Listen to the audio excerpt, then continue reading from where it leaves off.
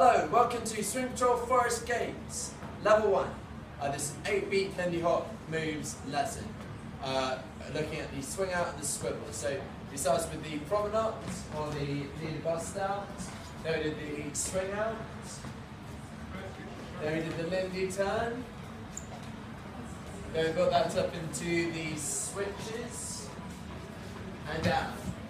Me doing the Shorty George after demonstrating very nicely the swivels, and then we did the circle to close. Thank you.